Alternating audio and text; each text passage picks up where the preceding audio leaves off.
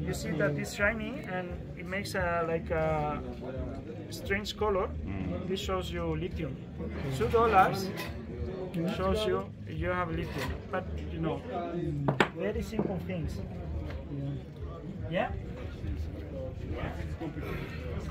No, it's.